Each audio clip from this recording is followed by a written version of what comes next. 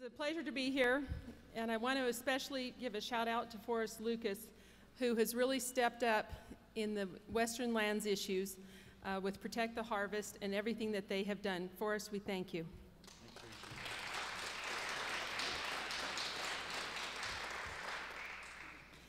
You know, it's, it's very hard to sit here and listen to some of these, these talks um, and not have an editorial comment or two. Not about the talk themselves, it's about the, the problem. And I love the word uh, incentivized. I think that's a fascinating word. I think it's a fancy word because I don't work for a publicly owned company, and, it, and so I can say these things. I used to work for the mining industry. And uh, and I don't work for a company that is on a timeline, has to get along with some regulators to, um, to, to get something done, anything done. But incentivized, I find very fascinating. I think it's a fancy word for a shakedown or extortion. And when you listen to all of these talks and an outline of all of the problems that we're hearing, what we have, in essence, is federal administrative tyranny, wherein we have federally, federal employees who are immune from prosecution, who have enormous power by virtue of their ability to hand down an administrative decision. And in their power, they basically have the power of the judge, jury, and, and um, executioner. And if you really think about it, that's where it all starts. And I think what Demar Dahl is talking about when we talk, and, and other people, uh, Tim, you referenced jurisdiction, when you talk about transferring the management and administration of these lands to the states, in part, it is to get around or eliminate the ability of federally employed, unaccountable, unionized federal employees from having absolute administrative tyranny over our industries.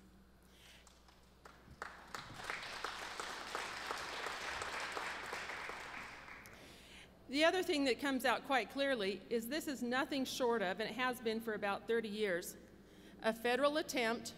I can't speak to the motivation for it. I have no idea why we see what we see happening in the West. It is so counterintuitive um, to what makes sense. But there has been an all out assault on the West in particular, but it's now spreading onto the private lands as well in the West in particular, to drive off every bit of production on these lands, whether it be first the timber industry, who were like deer in the headlamps, quite frankly, at the time, who didn't take this issue seriously, and who ended up um, walking away. And now you can go to Burns, Oregon, and you can go to the fanciest shopping mall in town, which happens to be a uh, refurbished mill, sawmill. And that's what we have today for our industry. It's a skeleton of what it once was, or it doesn't exist at all. The same thing is happening with mining.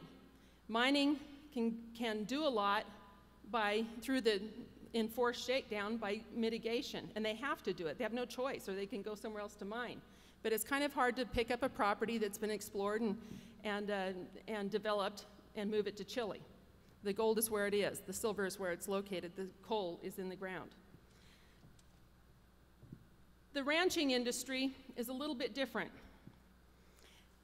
Ranching is not owned, most ranches are not owned by a corporation. Most ranches are owned by families. Your family, the Finnekins. And at the end of the day, the person who is um, up against it is an individual or a family. They don't have deep pockets. All they have is the inability, usually, to sell out, and well, if they can sell out, they will, but the inability to just up and leave because usually their entire life's investment, in fact, the investment of generations of people, is tied up in that property. And so, consequently, what separates the rancher and now the farmer as well, because the farmer is going to be uh, on the front lines of some of this with the Clean Water Act if, if they're able to uh, expand the definitions of the Clean Water Act uh, to employ into, into non-navigable waters. Um, but at the end of the day, the rancher is at the front of the line on this battle. and he has no protection, very little help, and he either fights it or cuts his livestock numbers to the point that he can't run anymore. And it's a, it's a deal that, that is impossible to take. So we have some choices um, in how we proceed in the future. And I look at this meeting, and it's really a meeting of leaders, because I, I know so many of you, and all of you, in one form or another, has been on the front end of this battle, leading this battle um, over many, many years. Some of, us, some of us are on our second generations. One of the first things that we may have an opportunity in this, um, and I just hope and pray for a good outcome of this election. I sort of like the kick the cans down mentality of Trump, but that's, uh, but there's no guarantees with anybody who's elected. And, we, and he certainly is an unknown quantity. I hope to God that he understands corporate structure. I think he does. And he will recognize that the bureaucratic corporate structure of our federal, his employees, whoever is elected, whoever the president is, their employees, they serve at his pleasure, how absolutely broken it is and how absolutely lawless it is. Because at the end of the day, when you listen to all of these talks that we just heard before me, so much of what you hear is about bureaucrats who aren't even following their own laws, but they're enforcing petty rules on us, forcing us to comply with them. And if, they, and if we don't, they'll sue us, tie us up in court forever, or they'll surround us with 200 snipers and who have no general grant of law enforcement authority. So it's a no-win situation for us. So I'm hoping um, that he understands that it's very broken. One of the things, you know, I, I, worked in Washington for a time, and we always hear about reforming this law and that law. All of my property rights friends on Capitol Hills They're always talking about um, reforming the Endangered Species Act, the Clean Water Act, NEPA, any one of them, all of them would be great. The problem is, is you almost need a perfect alignment of the stars for any such legislation to ever go through both houses of Congress and be signed by a president. And so here I've been at it now since 1990, or 1987 in Washington, D.C., and none of these changes have ever happened. We've had little, little fixes here and there, but no major reforms. Here's the sad news. Even if they did reform these laws, and even if we had a Supreme Court that issued magnificent property rights rulings, our federal bureaucrats wouldn't follow them. They don't now. They don't follow US v. New Mexico.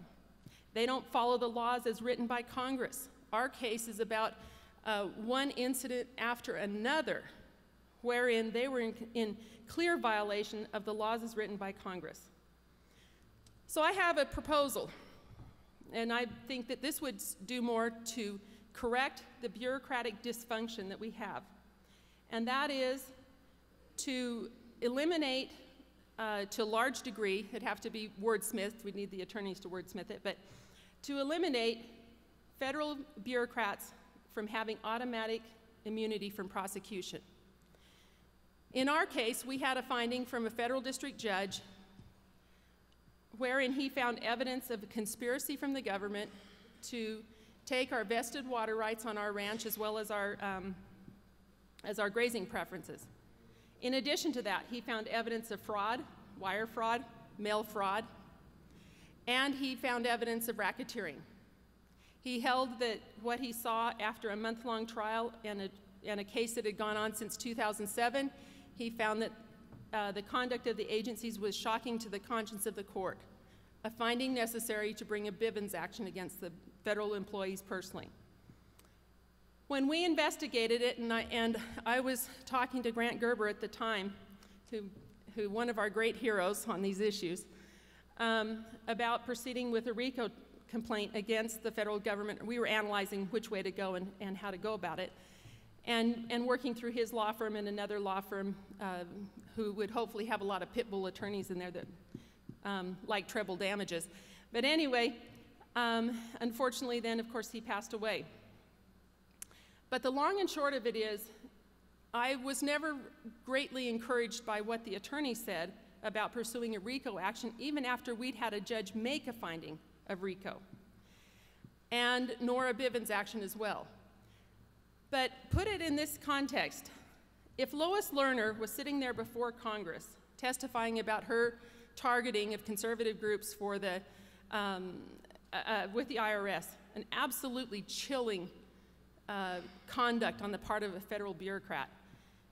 If she was just slightly worried about being prosecuted, do you think her conduct might have been a little different? I don't think it would take too many prosecutions of federal employees personally, where they, for a change, can hang out in court for 40 years. Um, personally, bringing an action against federal employees that would utterly change the culture of these agencies. And that's what we need. We need good government bureaucrats. We need a few of them, maybe not quite so many, but we need uh, people who are very good at their job, who do their job well, but most importantly, who follow the law. And while they're sitting here telling us that we can't ranch, we have no idea how to ranch without stepping on a tortoise or stepping on a sage hen or some other red herring environmental issue, um, they're telling us that we're not following the law, that we're uh, grazing beyond our stubble height, that we have a, a mine that's in, magically all of a sudden in the middle of a sage, sage uh, grouse habitat, sage chicken habitat, let's rephrase that. and, um, and so as a result of this, um, these agencies, uh, if we could do this, it would completely change the culture of these agencies. I believe they should be held to the same standard as they hold us.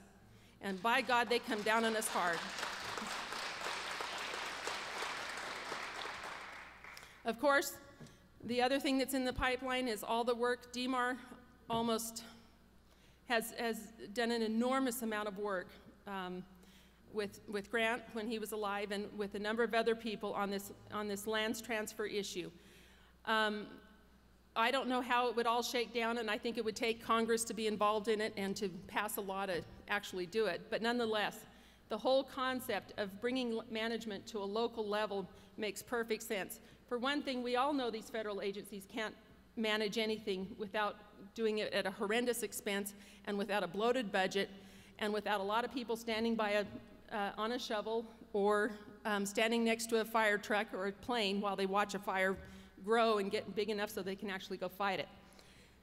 Um, so consequently, the whole issue of bringing things locally, I think, makes a lot of sense. If you look, we've spent a lot of time in courts listening to government attorneys tell the judge, Your Honor, uh, you know, these ranchers, they didn't know how to run these, these rangelands. They needed us to come in here and manage it for them. They're absolute, uh, they, that's why we're here.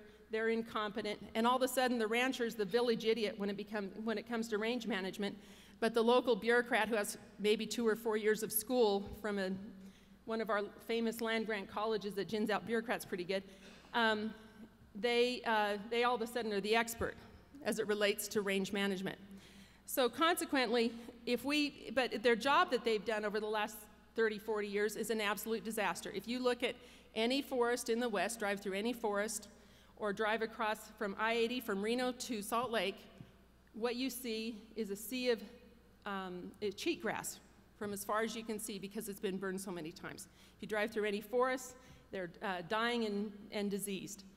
It was not this way 30 or 40 years ago. It has just been this last period of time where the management has become utter mismanagement. And yet they claim we can't do it without them. I think it does need to be brought back to the states. Finally, um, one of my pet peeves, uh, or the thing that I specialize in, I guess, is, is water and, and documenting water rights. If you look at the Western lands and so much of what has happened, um, what you see is an all-out assault on, on water especially. And if you consider that water, in, um, aside from maybe striking an oil well on your property, water is perhaps the most valuable asset that we have. And if you look at the western lands, um, aside from municipal and industrial use of water, the rancher and the farmer basically owns and controls most of it. The other thing in all of that is every rancher, every farmer, virtually, except for those who have underground pivots, um, can document that they have vested water rights. So for surface waters, they can document that they have historical rights that are protected by law both state law and federal law, rights that predate any one of these federal agencies. And so I encourage property owners, um, as we sit here under all out assault, to document and do their title work on their ranches and get their ranches, their property, their farms, uh, get their chain of title put together so that they uh, document those property rights and so they're ready for whatever comes their way. I just came uh, from Eureka. I'm working on, the, on a property there that's involved in, a, in an ugly adjudication uh, versus old historical vested rights and, and uh, new um, pivots that were brought in where the state over appropriated a valley. And it's absolutely fascinating. As I said, I drove over here on the, on the Pony Express Trail, literally, and, um, and, and am researching the Pony Express Trail. But that is what we need to do. We need to be vigilant as individuals. We can't expect government to come solve it for us, they won't. We need to also be vigilant with regard to our own property rights and understand what they are.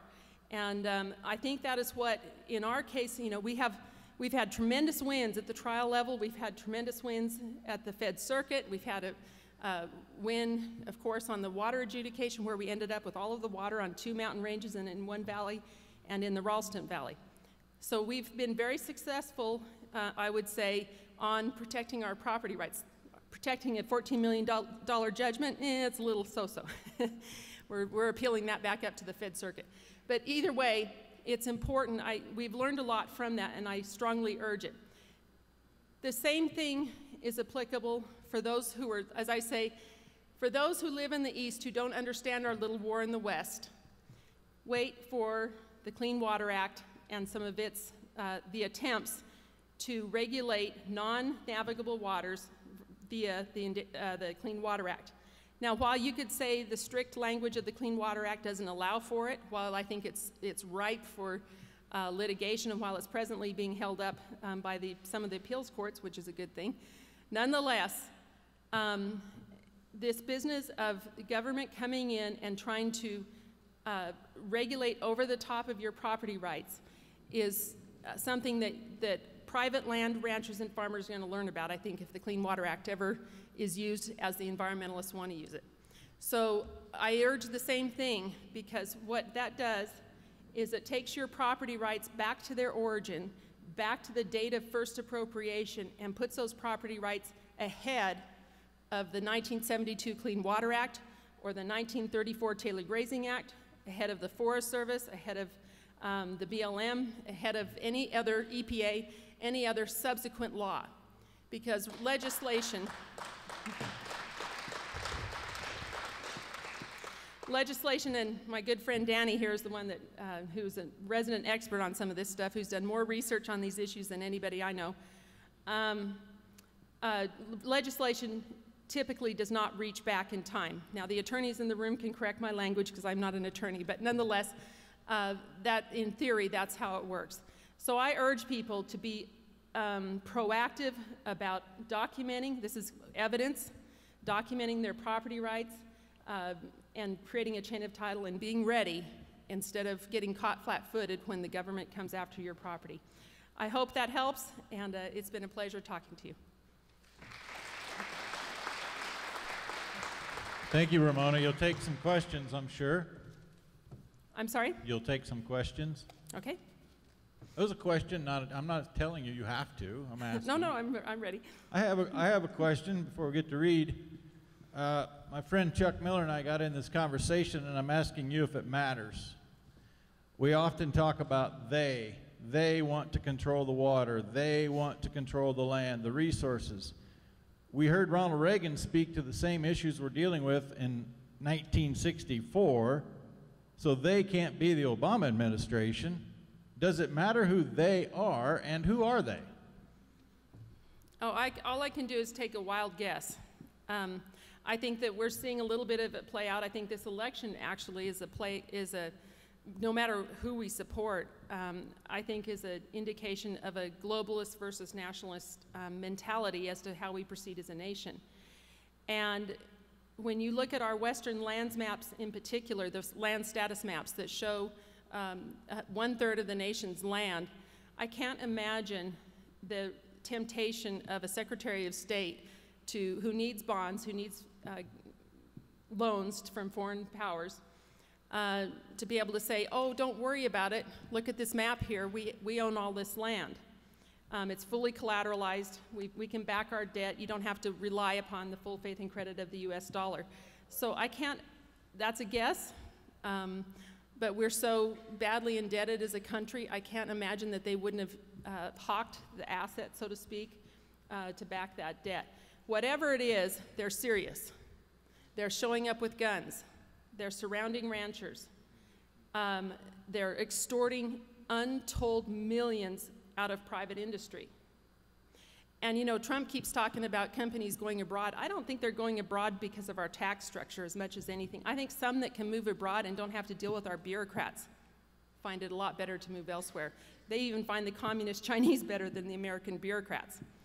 So I think that, um, I think that our federal agencies have, uh, may have, that these lands may have been used as collateral, but it's, it's purely a guess. You mentioned Danny. I've rooted Danny out. He's sitting right here. Danny Martinez, you wanted to answer that question, and I'm holding the microphone. I was serious. I'll answer it. okay, the, the, they are the special interest groups have had, that have infiltrated our lawful government and are promoting their own personal agenda. And we're talking about the mm-hmm. environmentalists, the Pseudo environmentalist. pseudo-environmentalists, right, exactly. That's who they are, right, Ramona? Oh, yeah. And they're funded by multinational organizations. When you look at, Ron Arnold did a beautiful book, I think, Trashing the Economy, about 10 or 20 years ago, wherein he followed the money on these environmental groups. So when they say pseudo environmental groups, they're absolutely correct. And more importantly, I always tell people who are dealing with uh, the federal agencies don't ever kid yourself. They're colluding. The federal bureaucrats are colluding with the environmental groups to get the desired outcome lawsuits that they need, wh whether or not they settle them.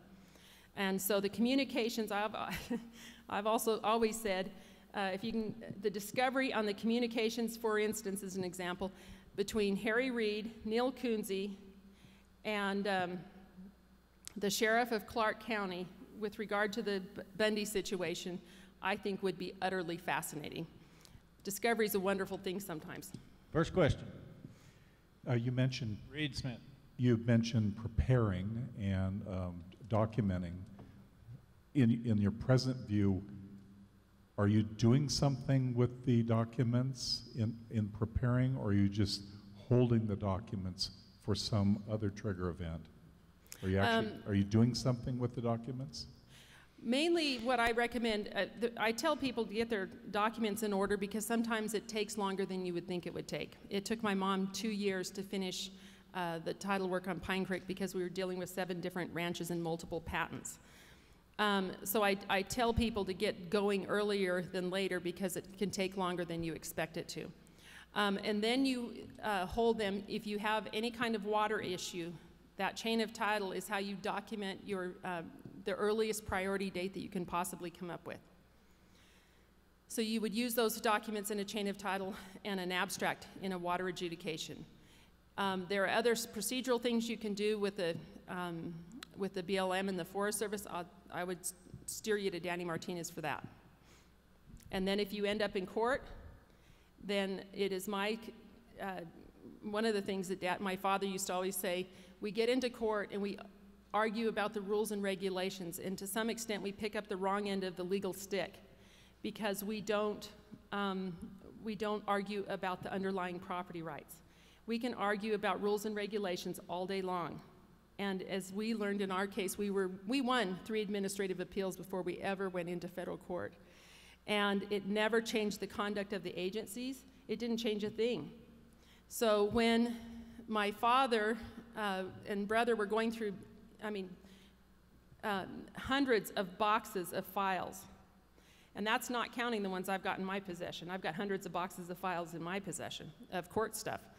Um, and they were going through all those administrative appeals. My dad, my dad had my brother back a truck up to the uh, grain bin where those files were stored, two of them. And he took a few things out of those boxes and stuck them in one truck.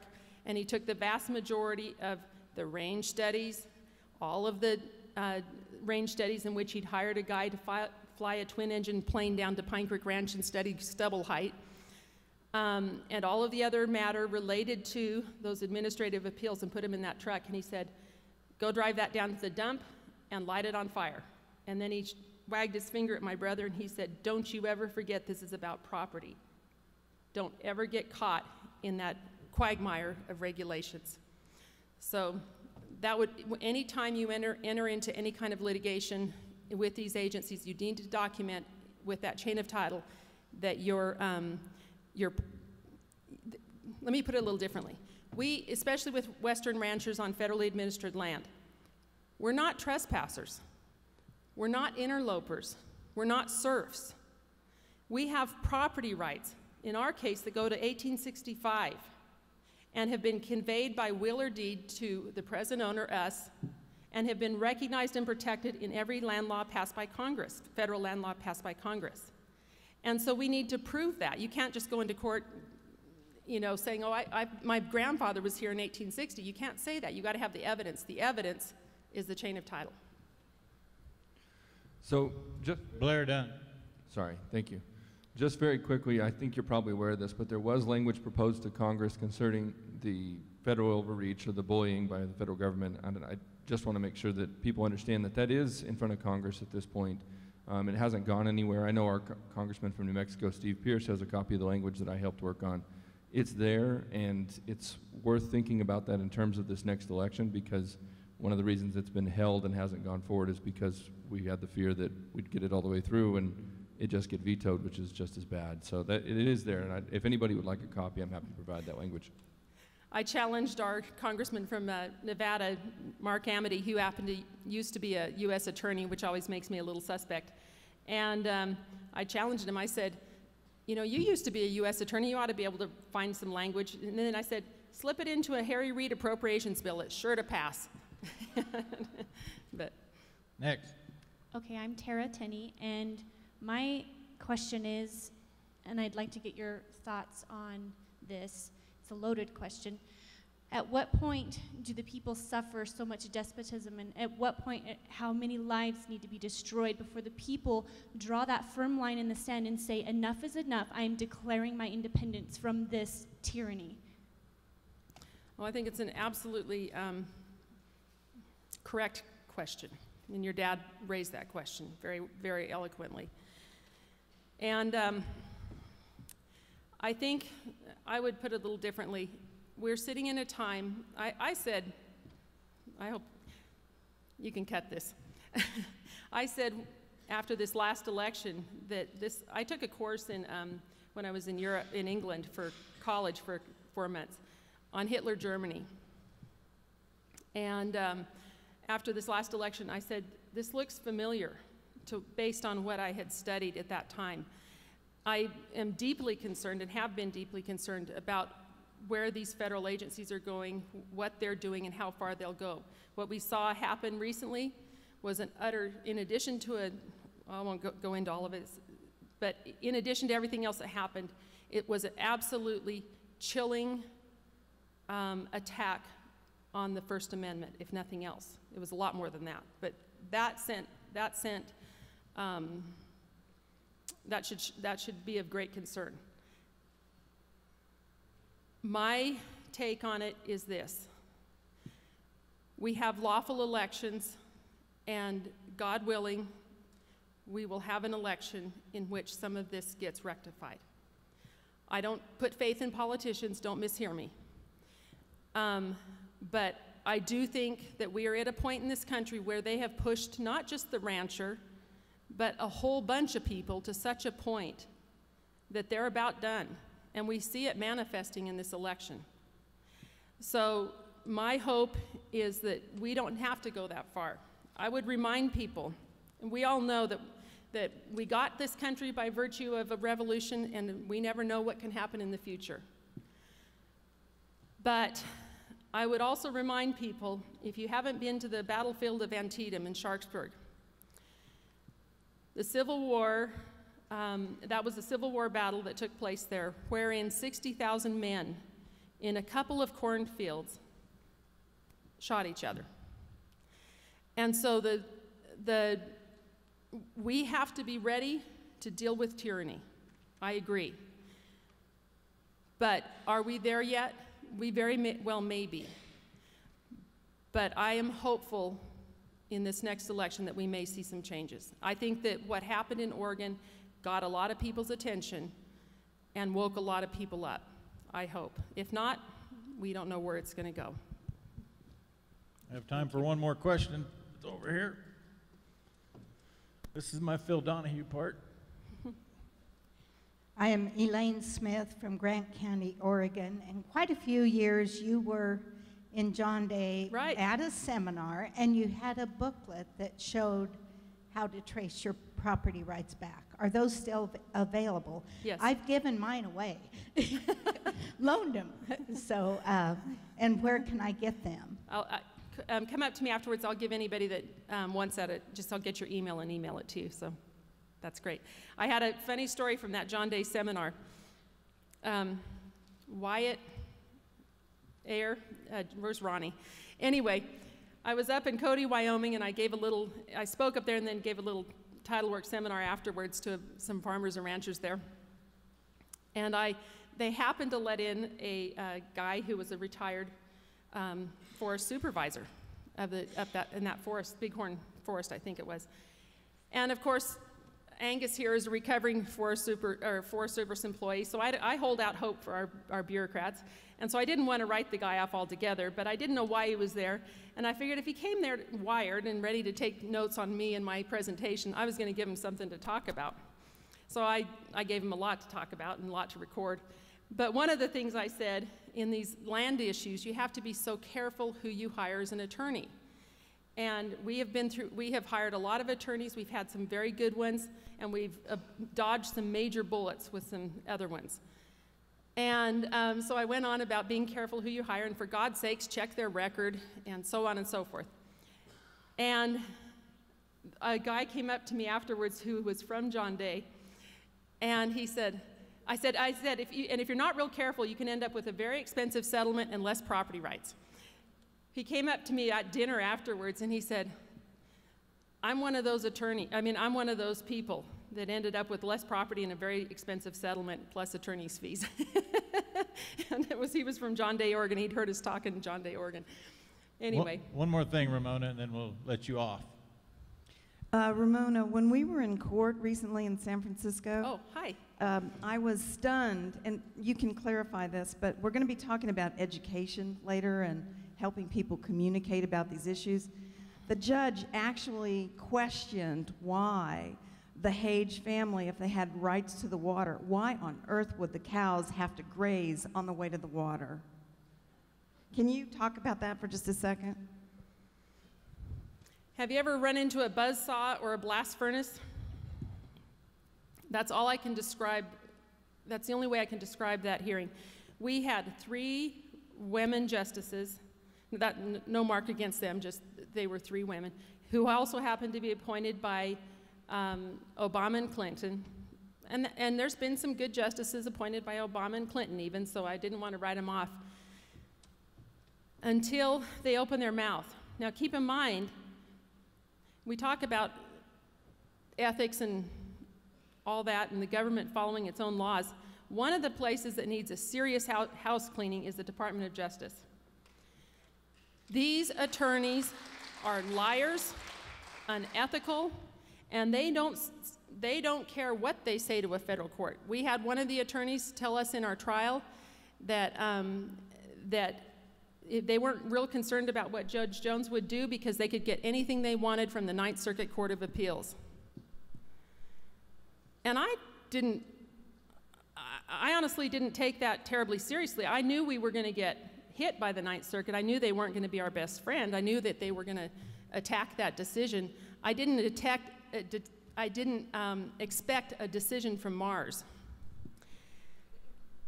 And then we had these attorneys stand up, the, the one in particular, in both the federal district court, federal Fed Circuit Court of Appeals, same attorney, and the Ninth Circuit. And she stood up for her 15 minutes, started misrepresenting the law and the facts of the case to the court, and never quit doing that until she sat down. So, when we have these issues before these courts, um, especially western rangeland ranching, I would say the same is probably true for mining. It is, you're dealing with an uphill battle of convincing somebody who has no idea what the back end from the front end of a cow is, or much less that a cow actually puts her head down to drink and then, oh, by the way, might graze as well. And as I say, you know, even bureaucrats mow their front lawns. But it's almost, you almost have to make it that simple for them because they're so far removed from agriculture, from production of any sort, that they have no point of reference. They have no understanding of, of how this works, and it is especially a problem for rangeland ranching. Thank you, Ramona. Ramona will be back Thank you. tonight. Ladies and gentlemen, Ramona Morrison. Thank you.